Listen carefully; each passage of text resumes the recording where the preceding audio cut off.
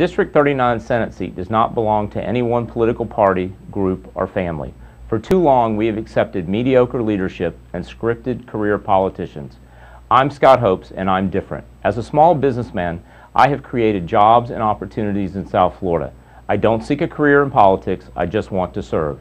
If we are going to reignite our economy, offer quality health care to all, and continue improving our schools, we need new leadership in Tallahassee. I am Scott Hopes, and I need your vote for state senator.